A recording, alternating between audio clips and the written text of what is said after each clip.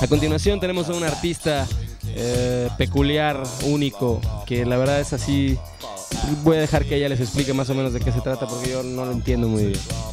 Inauguramos nuestra sección visitando A con esta banda que más bien es un dueto que es muy peculiar, que a pesar de que solo son dos personas, es un teclado y una batería, en realidad suenan como si fueran ocho integrantes. Tienen varias influencias, pero suenan como una combinación de Ray Manzarek con música en videojuegos, White Stripes y un poquito de Sex Pistols. Bueno, en mi opinión, la voz a veces suena un poquito a Johnny Rotten. Tuvimos chance de visitarlo, nos dijo sus debrayes, nos contó qué piensa. No lo entendimos mucho, pero estuvo muy, muy, muy intenso. Y después tuvimos chance de verlo tocar en la Rock Colecta. Pues vamos a ver visitando a Shelby Cobra.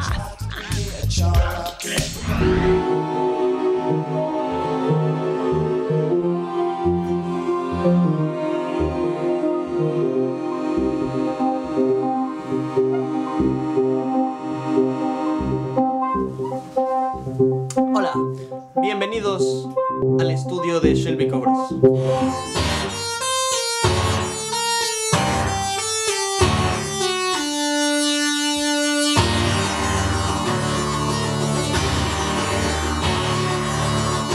¿Quién puede entender verdaderamente la motivación del arte y qué nos impulsa a hacerlo, a crear cosas que otras personas puedan disfrutar?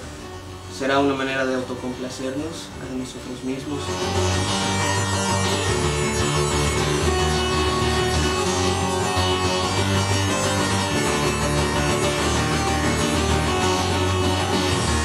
¿Qué nos depara el destino?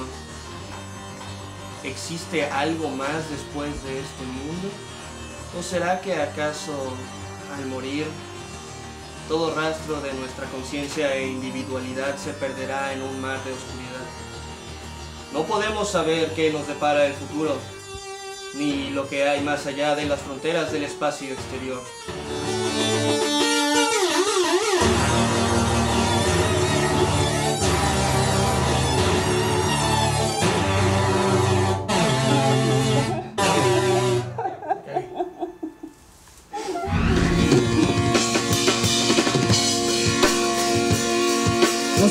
Se llama, y se la dedico a todos ustedes, especialmente a la gente del audio, se llama La necesidad de matar. No lo estoy haciendo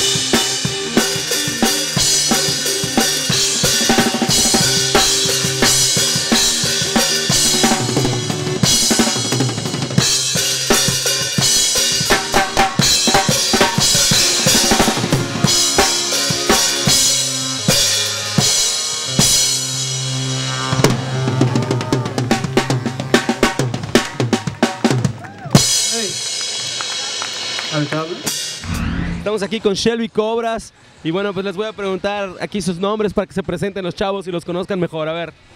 Hola, yo soy Shelby Cobras. Omar. Omar y Shelby Cobras. ¿Cuánto tiempo lleva Shelby Cobras tocando juntos? Llevamos tocando juntos eh, dos años. Dos años aproximadamente, sí, así es. Sí. Me gusta describir el estilo de Shelby Cobras como una manada de marmotas furiosas y enardecidas. pues este, yo creo que es un poco de rock electrónico y progresivo, no sé. Cada quien aporta lo suyo y, sus influencias y se hace una combinación un poco extraña que aún no sabemos cómo ponerle, pero es exacto. Está chido. Eh, el grupo se encuentra principalmente influenciado por um, la sonrisa de los niños, por la- el atardecer y el rocío matinal de los campos por la mañana. Me parece. Pues puede ser rock progresivo y él no sé. ¿Dónde les pueden encontrar? ¿Tienen MySpace? ¿Tienen Facebook? Nos pueden encontrar en Facebook, Twitter, MySpace, www.myspace.com, Shelby Cobras. Bueno, eso fue Shelby Cobras, la mente torcida de Shelby Cobras. A mí me pareció fascinante, no sé, creo que a ti también. Es un, es un gran artista de esta ciudad, yo creo que van a llegar muy lejos. Y pues como todas las cosas buenas, esta cosa buena también se tiene que terminar. Llegamos al final de nuestro programa, es muy triste, pero nuestra tristeza porque termina simplemente es da lugar a una alegría muy grande porque sabemos que van a haber muchos programas más. Sabemos que vamos a contar con ustedes para decirnos qué es lo que sale bien, qué es lo que sale mal.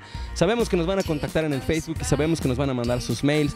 Y desde este recinto de amor donde toda esta gente viene a darse amor en las noches oscuras de la ciudad, con ese amor que flota por aquí, les vamos a dar una gran despedida. Yo soy Mau y ella es Pau.